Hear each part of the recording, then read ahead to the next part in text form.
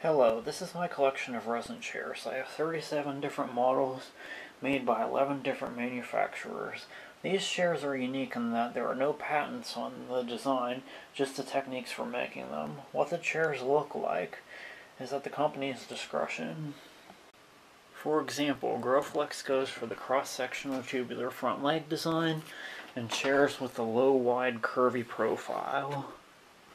These chairs will be collector's items someday like insulators, but unlike insulators, these don't last long, and vintage chairs from the early 80s are extremely hard to find.